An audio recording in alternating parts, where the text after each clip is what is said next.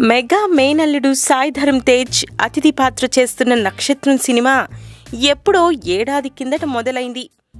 ఆరు నెలల్లో పూర్తి చేసి రిలీజ్ చేయాలని భావించారు. బిజీ బిజీగా ప్రమోషన్స్ గ్రాండ్గా చేసి ఆ తర్వాత నిమ్మకు నీరెత్తినట్టుగా ఉండిపోయారు. దీని వెనుక రీజన్స్ ఉండొచ్చు అని ఆరా తీస్తే గత ఏడాది నక్షత్రం మొదలై స్థితి అయోమయంగా ఉంది.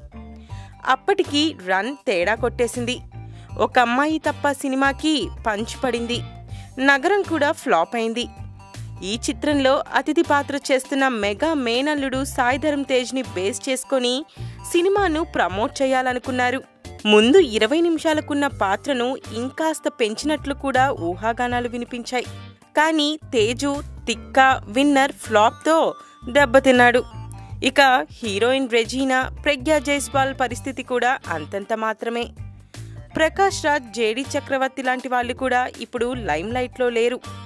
ఈ నేపథ్యంలో నక్షత్రంకు మళ్ళీ ఎలా హైప్ తీసుకొస్తారో సినిమాను ఎలా ప్రమోట్ చేసి ఎప్పుడు రిలీజ్ చేస్తారో వేచి చూడాలి.